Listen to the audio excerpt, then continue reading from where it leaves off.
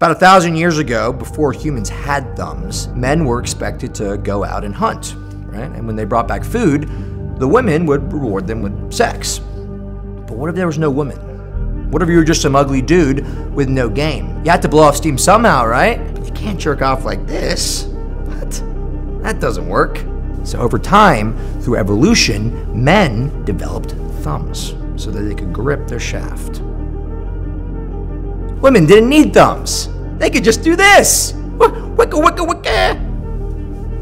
Well, um, I'm a woman and I have thumbs, so why did we develop them?